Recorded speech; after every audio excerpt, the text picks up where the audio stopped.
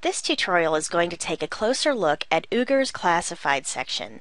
Since this is a social network where you're going to be meeting and talking with a lot of people, why not have a category on here that you can say get rid of a car or find a roommate and all of the other categories that are offered by the classified ads. So let's go ahead and take a look at what we've got here. The site is still new, so we don't have many postings in the different departments, but you can look by country or by region. In our search listing box, it allows you to put in what you're looking for. You can put in the category that it would be found in.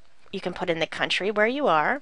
And you can put a minimum and maximum price that you're willing to pay for a particular item. Up at the top, we've got Home, a place to post ads, search, to find regional ads, PMS, My Ads, and Package. So let's take a look at posting an ad first of all. It's going to take me to a blank page because I don't have any packages right now. But if I use the test package, it will allow me to use five total posts and put five images per post, and it will show me my contact information.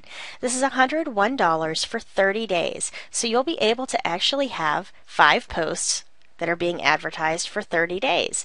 Fill them with pictures, plus put your contact information, and you're going to find someone who's going to want what you have to offer.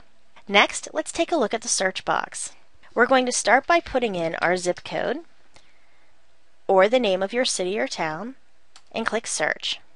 As I said, right now the site is new, so there isn't anything under there, but that's how you can search in a small area.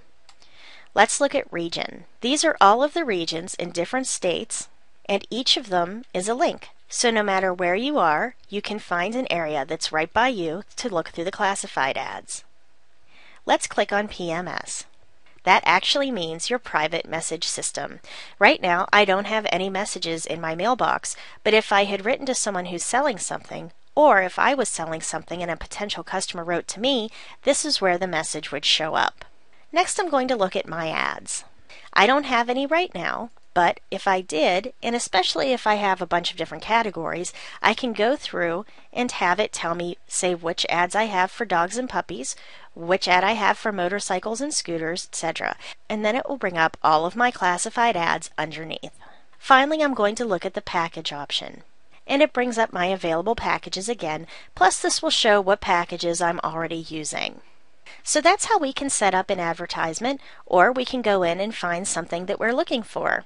I hope this tutorial has helped you out with Oogger Classifieds and good luck finding or selling that object.